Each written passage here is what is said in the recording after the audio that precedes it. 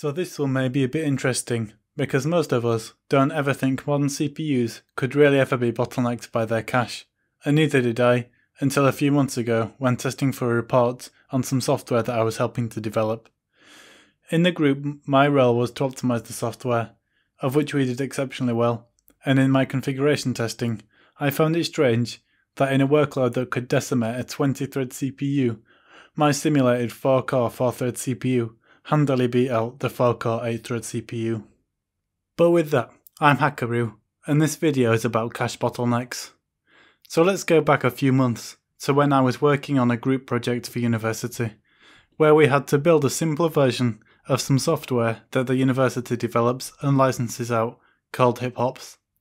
HipHops is a piece of engineering failure analysis software that is used to simulate, track, and follow a failure throughout a system's simulation. So, me and my group were tasked with building a piece of software to, at some level, replicate the functionality of the university's built software. And what this software was to do was to search a tree of components in a system and simulate a fault in the system, and then track that fault through the system and report data about the faults in the components which had failed as a result of the initial fault. This was a competitive group project, so other groups were competing to have the fastest fault analysis. We used some of the most advanced techniques. Now, my group was composed of people, mostly my friends, so we each took certain roles within the group.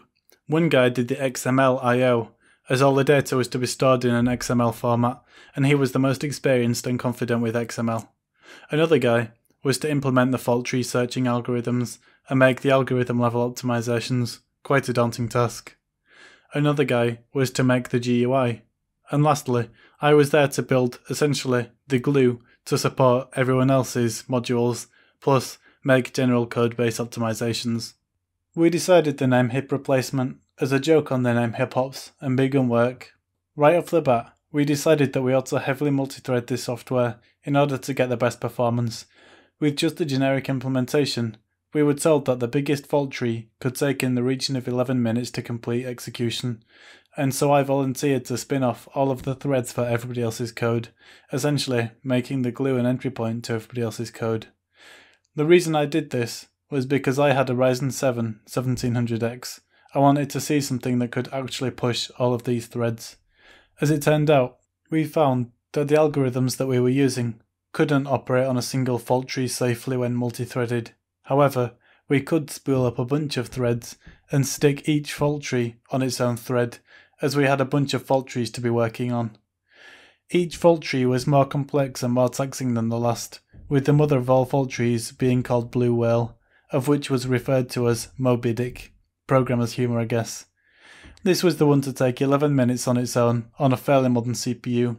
However, with this new ability to put each fault tree on its own thread, I built a huge XML file with 16 Moby Dicks. We then referred to this one as Biggus Dickus. Again, some more programming humour. Anyway, as each task was independent, this theoretically ought to see perfect scaling with thread count. So if we can execute 16 on 16 threads, it ought to take the same amount of time as one on one thread. And so if it takes the same time, and we execute 16 Moby Dicks, then we can claim lower average execution time per Moby Dick. This is the concept of batch processing.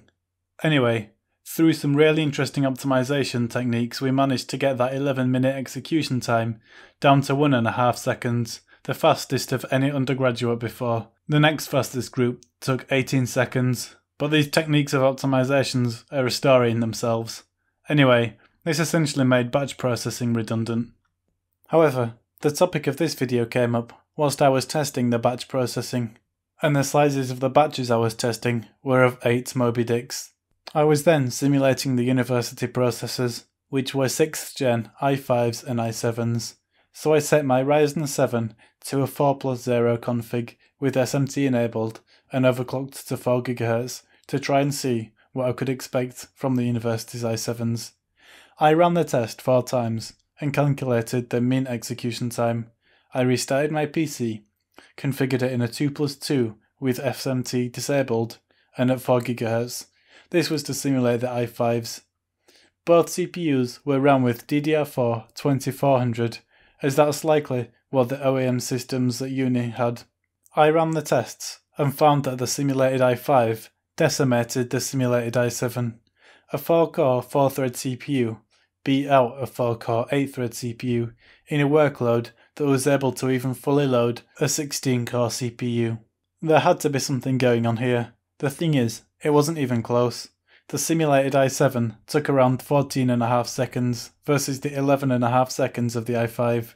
That's a 25% lead the i5 has got in heavily threaded workloads. Now that's a head scratcher.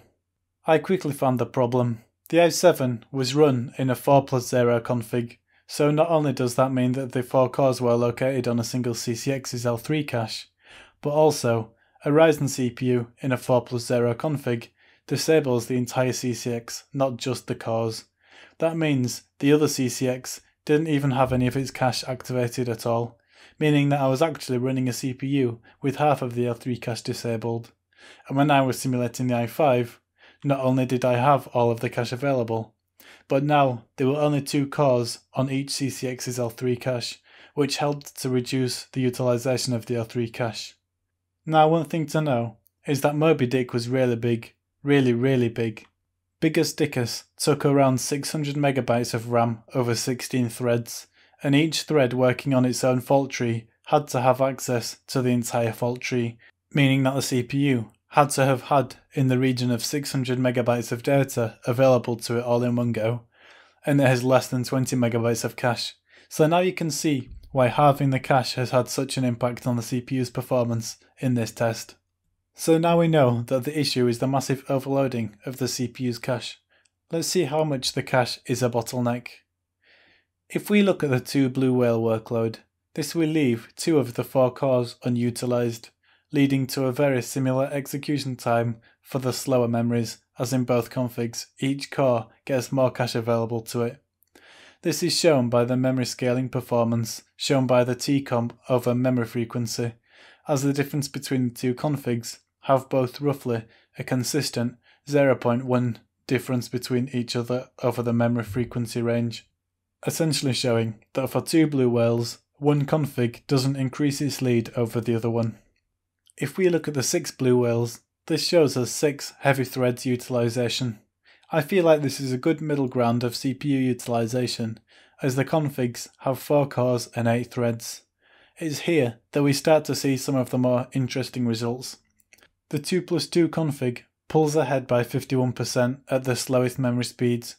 Remember, the slower memory speeds are there to highlight the cache capacity bottlenecks by making cache misses more severe, and here it shows both configs were running with 2400 MHz RAM with 4 cores and 8 threads, but the difference in cache size meant that the 2 plus 2 config got a 51% performance improvement.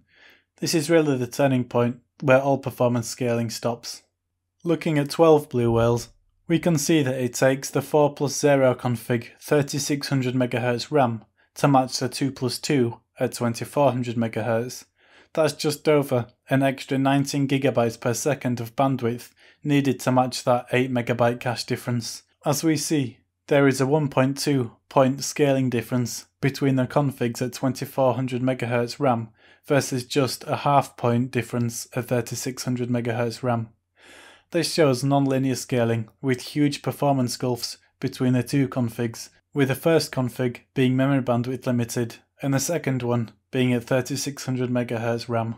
So to wrap it all up, all of this shows us how, in real world scenarios, the cache limits of Ryzen processors can easily be encountered, and when it is, it can be crippling.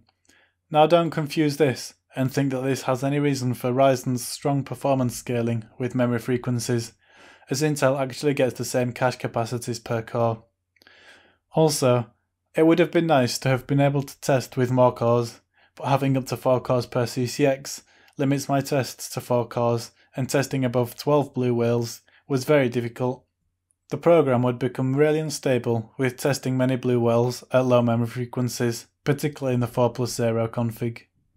Lastly, it would have been nice to test higher frequency RAM, but I was going up in 400 MHz steps, so the next step would have been a 4 GHz, and I don't have a kit rated for those speeds, but more importantly, the Ryzen chip wouldn't go that fast. The highest I've ever gotten Ryzen to is 3733 MHz. Anyway, that's all for now. Hope you enjoyed and hope you learned something.